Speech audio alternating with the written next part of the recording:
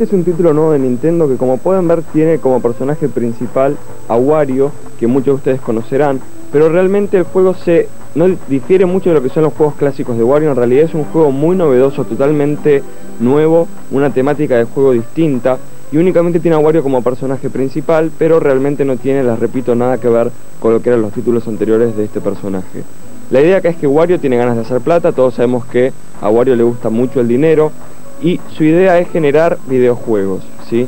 Pero la idea para hacer videojuegos de Wario es hacer videojuegos muy muy cortitos que le sean muy baratos producir y esa es la manera que él idea para hacerse millonario. A la hora de estar haciendo juegos, él se pone su computadora, en su pequeña empresa, se compra la computadora como vemos en las imágenes, pero lo que sucede es que una vez que él se pone a programar se da cuenta que es bastante vago, que no le da muchas ganas el trabajo y lo que decide hacer es, en la ciudad de Diamond City, decide contratar a distintos personajes para que lo ayuden a programar videojuegos. Ahí aparecen los distintos personajes que vamos a tener dentro del título y cada uno de estos personajes va a generar distintos tipos de juegos que vamos a tener que ir pasando. Como pueden ver la idea es bastante distinta, esta es la ciudad Diamond donde se desarrolla todo el juego.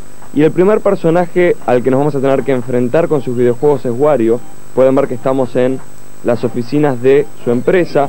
Y lo que va a comenzar a suceder es que nosotros vamos a tener que comenzar a jugar con este personaje. ¿Cómo es esto?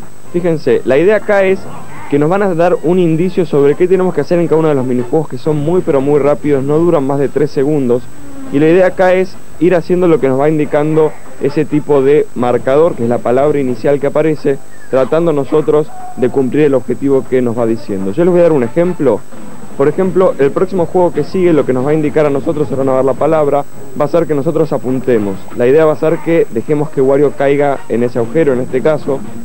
En este caso tenemos que escapar de ese tipo de pelotas redondas, como nos decía la palabra también. Y como pueden ver en el título, son muchos los reflejos que vamos a tener que tener para poder ir pasando a cada uno de los desafíos que nos va presentando. Otro de las características que tiene es que el juego se va volviendo cada vez más rápido y eso va aumentando mucho la dificultad y al final de una serie de enemigos que vamos a tener que ir pasando, vamos a tener que enfrentar al jefe final de cada uno de los niveles. Bueno, esto fue el título WarioWare para el sistema Game Boy Advance y espero que les haya gustado. Chao. Y nos tenemos que despedir lamentablemente.